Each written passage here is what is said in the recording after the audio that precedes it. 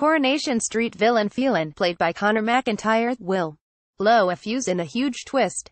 The ITV soap will see Phelan explode with rage towards vicar Billy Mayhew, Daniel Brocklebank. Billy is currently under arrest at Weatherfields police station after being unable to deal with the guilt of stealing from Eileen Sue Cleaver on Monday night's episodes.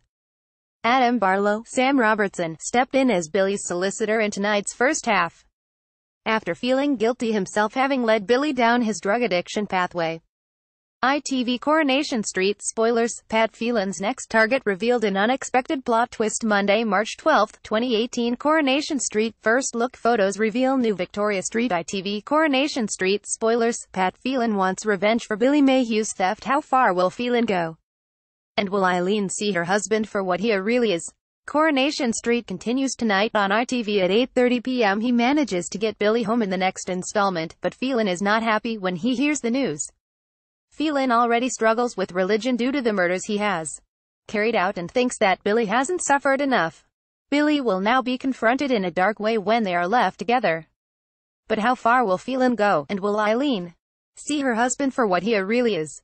ITV Coronation Street spoilers, Pat Phelan wants revenge for Billy Mayhew's theft Friday, December 1, 2017 Andy Carver and Vinny Ashford were both killed off by Pat Phelan it comes after Fans kept a close eye on Monday night's episode as Mary Taylor's Patti Clare, long-lost son Jude Appleton, Paddy Wallace, confirmed that he was working as a marine biologist.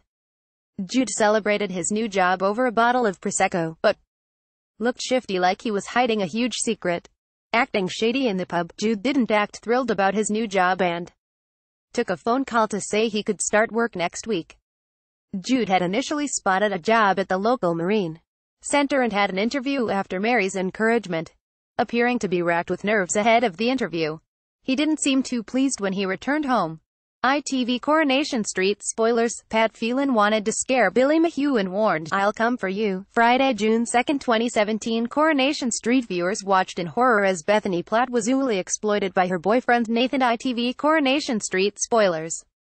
Pat Phelan wanted to scare Billy Mayhew and warned, I'll come for you. Jude's wife Angie Appleton, Victoria Ekanoye, and Mary thought his frown meant he wasn't successful in landing the job, with Angie fearing a potential financial struggle. She said, I don't think a few tentative leads from Dev is going to do us any good.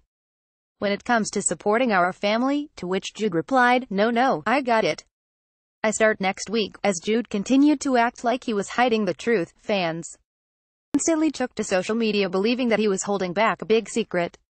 One viewer tweeted, by the way, the job that Jude's just got is actually as a male stripper in tassels.